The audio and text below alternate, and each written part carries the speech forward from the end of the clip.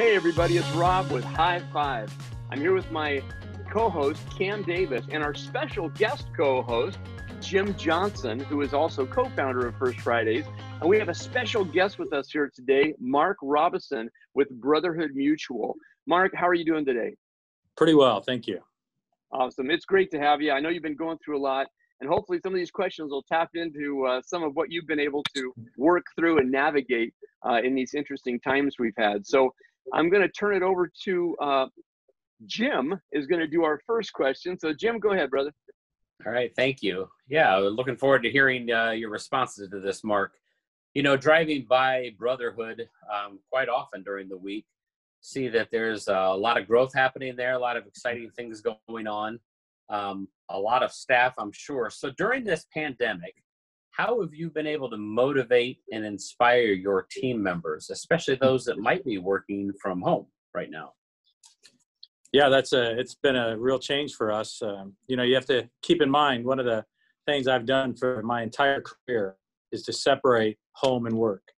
So even when I was in public accounting, working 70, 80 hour weeks, we did not. I did not take work home, and so this whole pandemic has put that in a challenge for me. And so just personally, that's been a real challenge. Uh, but what we've done is is uh, you know to motivate our employees. The thing that we've really identified is that they're only hearing one part of the story, right? And it's all negative.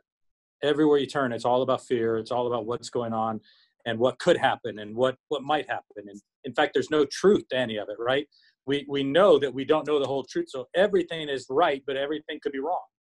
And so that's been our challenge. So for us, we've been taking advantage of. We have a studio downstairs, and so we will do video messages as we need, and and broadcast. And and in those messages, I try to make sure there's two things done. First is be transparent.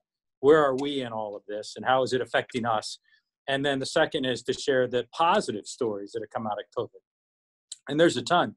And we have, especially in our business, where we're working with churches across the United States, we're hearing those stories. Uh, for instance, the, a church in South Carolina that was approached by a hospital system and said, "Hey, would you open your daycare and take care of our the kids of our hospital workers so we can stay engaged?"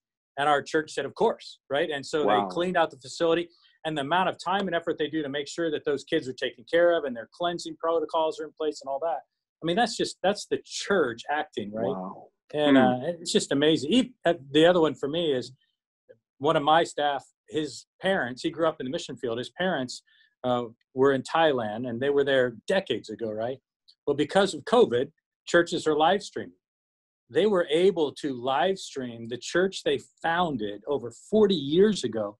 And it was the first time they'd seen this church in decades. They're in their 90s. What a way to celebrate the fruit of what God is doing, all because of COVID. And you know, you start hearing those kind of stories and you realize wait a minute, it's not all about quarantine. It's not all about, there are a lot of good things going on. And I, I think that's what the world's missing today. I think that's one of the reasons why you have so much mental illness uh, or anxiety and depression, if you want to call it that. I wouldn't say illness, but mental health issues. I just think it's, they're not hearing positive and, and real truthful stories. I think that, you know, God is truth and, and we're missing a lot of that today. Yeah. Excellent. Absolutely. Um, Mark, what would you say um, are some personal development tools that you would recommend to upcoming leaders? well, that's a that's a tough one for me, Cameron, because I don't like tools. So you're already pushing my button. Uh, I will tell you the the biggest thing for development is one-on-one, whether it be coaching, whether it be just go to the old-fashioned lunch right? Go out and have lunch with people. The biggest development I get is when I'm sitting across the table from someone having food because food causes you to, to become less formal, right? So put your guard down and you begin to have those conversations. You begin to talk about, well, how are you doing this? And what are you doing? And the greatest development for me has always been around lunch. I don't mm. do dinners because it impacts my family. I don't do breakfast because it impacts my devotions. But lunch, I'm every day of the week, I'm having lunch with someone. And that's the development tool. And so now that we're coming out of this quarantine time, that to me is the biggest biggest way you you pause you listen you you can hear it honestly it's just such a better deal than than watching broadcast watching you know i'm a cpa so i get a ton of education online and it's you know i, I have adhd you know so it doesn't go well for 30 minute session I'm not going to remember much of that. But one on one with somebody, that's a good one. Absolutely. That's awesome. I, I love that, Mark. Uh, I think uh, a, several of us from our generation suffer from that same thing. Yeah. but uh, anyway, thank you. I, I love you said that God is truth and how we've got to, especially as the body of Christ. I mean, we have to refocus on the fact that God is truth, and and that truth is is exponentially displayed in the power right. of the gospel. Yep. Um, and then course, the one-on-one reminds me of Jesus's method of discipleship. Really, that one-on-one discipleship. So I love it and I appreciate it. So my question, Mark, is a little bit of a twofold. Um, as we've all had to do some shifting during this time um, as to what we call normal uh, or the normal mm-hmm. experience. And my question, my first part of the question for you is, um, what experience has been the most humbling for you during this time? And then the second half of that is, how do you feel what you learned was beneficial for you and your family? That's a great question because I've been trying to reflect on on that over the last couple of weeks too. Just what have I learned through this? I had a board meeting two weeks ago, and they they asked me that question. They said, "What are you learning in all of this? What's Brotherhood going to do differently?" But uh, I, I think it's a personal issue as well, and so I'm really glad you asked it in that way.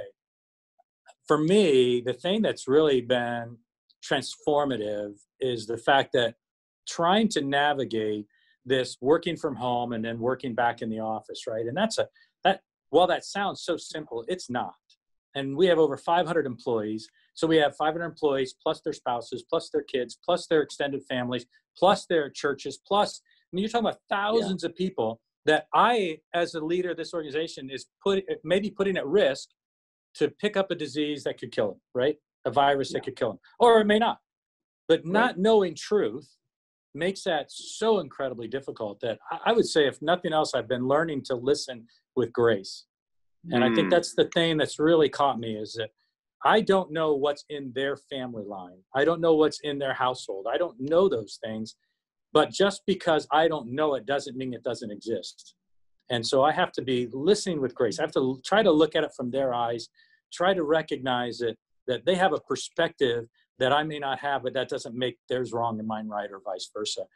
And uh, and so doing that, I, I think it's gone the same way with my kids. Is as we've been dealing mostly electronically because my kids are all in big cities across the country. Okay. So we have to Zoom to talk to each other and or FaceTime and and doing that. That grace also causes me to listen more carefully, right? So when you ask, "Hey, how you doing?" I'm not, "Yeah, good. Keep going." It, it, you're actually listening. How, how quickly did they raise that thumb? What, what's really going on? And you listen to that conversation to see if you can figure out what's going on. And so i, I think that for me this has really changed that. I'm a, I'm a fast-paced guy. I move quickly conversation conversation. For instance i can't stand zoom meetings because i have to be polite right? Right. when somebody's given they're telling me their thoughts i've already caught it i'm ready to go on i have to wait for them to finish and it's brutally exhausting right? To wait for them to finish the topic i already know. And some people say it three times and and so it's that difference right? Now it's forcing me to listen with grace to to relax and allow the full listening to take place instead of listening so i can move to the next section so. Mm. i love that mark. You know one of the things that uh, in my years of professional coach um, training is we called it that uh, grace space. Just mm-hmm. holding that space uh, for there to be grace to right. just really uh, interact. So thank you. Great, yeah. great answer. Thanks, Mark. No, Jim, back I, to you, buddy. Yeah, I love, I love that response. It's uh, go through that. I don't think I think as quite as quickly as you do, Mark, but uh, you can be on Zoom meetings and you catch it, and then your brain's already way ahead, and then all of a sudden somebody mentions your name, and then you're yeah, exactly. So here, here's a question, and I think I already know where you're, where you're going to go possibly with this. But what would you identify as your personal values, and then how do those values shape your personal leadership style? Yeah, I, you know, I, when I was in uh, right out of college working at E&Y Ernst and Young, I had a manager that would tell me to go do stuff, and but I would say, well, why would we do that? And there would be no answer. It just said because I said so. And uh, I, I learned early on that is not how you manage people. So I I adopted a mantra of, of transparency and passion. And if I don't have both of those things, I delegate it off. It's not worth it. You know, that's somebody else's role because it's not fair to whoever I'm working with. If I don't have the passion for it, why am I wasting your time on it? Because I feel like I'm wasting my time on it. in essence, right? I mean, there are times you have to do the the grunt work, but my goodness, if you can't be all in, why are you doing it? And, that, and that's that's where me. And then the transparency. I, I'm going to tell you exactly how I feel. Uh, you know, the the most dangerous times in our company are all employee meetings, and that's when all our attorneys sit around and wait for me because I do open Q and A and I answer every question, and they're nervous of what that answer might be because I'm going to tell them honestly. But I, I think that's what we deserve, isn't it? If if we can yeah. be transparent and if we have passion for what we do, we all enjoy life and enjoy the, the process so much better. So that's Absolutely. that's really that's really where I'm at. I love that. Thank you. Awesome.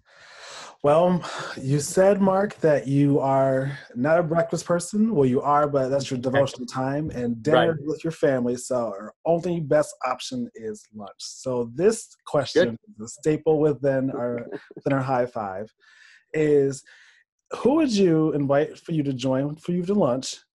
But one person at this table that you're inviting has to make you laugh. Who would you choose? How big's my table?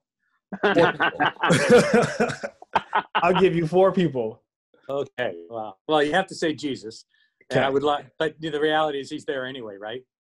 Whether I, invite him or not. Right. So I'm not yes. sure that's a, that's a fair answer. um, you know, there's a few people that I I pay attention to. Jim Collins is one of those guys okay. that I just I love. I don't know that Jim comes up with a lot of unique things on his own, but his research shares stuff. And I think that's what I like about Jim is that he holds his own opinions to his chest, but he shares what the research has shown and then tries to interpret that, but allows us to do it with him. And I think Jim would be incredible to have to be able to do some Q and A with. Awesome. Um, Craig Groeschel is one of our customers out at Life Church, and oh, fantastic! And I've had I've had chance to have lunch with Craig before, and he's just phenomenal and being able to pick his brain. But I'll tell you, it's interesting because when you have when you have lunch with those guys, mm-hmm. they're so busy, mm. right? They're not looking for me to pick their brain. They're looking for a bit of downtime, yes. and uh, and I, I I just appreciate that fact too that we can let them come have lunch with us. We're not gonna pick you. We're not gonna tear you up on that. But mm-hmm. Craig's mind is constantly running, so I'd love to do that. Let's see, who else would I pick? Um, the one who would make me laugh is Michael J. We've okay. had him in our building a few times. He's he actually on one of his CDs has a comment that came out of our building, and so it was sort of interesting. He's turned it into a joke that he uses across the country. So, uh, but he's just funny. He's just a great guy, and he's got a very purposeful laughter, and that's mm-hmm. what I like about Michael J. Um, last, let's see, who would I pick? You know, I my brother Wayne. I still spend a lot of time with Wayne. He's he's sort of my executive coach, and vice versa. And so I'd always want him at the table with me, and and I have you know, I have eight siblings, so I have plenty to pick from. But Wayne's CPA, and so we we really do tie ourselves together pretty well that way. So. Awesome. Well, that is a great table. Um, I, I'm upset that our time is coming to an end. I really am because I always enjoy our conversations. Um, I really do. Yes. I enjoy just, and I'm dare say use the phrase pick your brain. I just enjoy just listening to people have to say and leaders in our area have to say and how they manage and how everyone is is very different, but they have one common goal is making sure that everyone is accountable, staying on task, and yet enjoying yeah. what they're doing. So I sincerely do appreciate that. Good, thank um, you. Yes, thank you. Um, gentlemen, this is the time where we have to say goodbye, and this is also time where I have to educate people how to count down. So only me, only don't blame anybody else, just me. it's either down or it's up, man. Let me know. it's You're making down. me nervous. it's going down. So here we go, and in three, two, one, high five. High five. Perfect.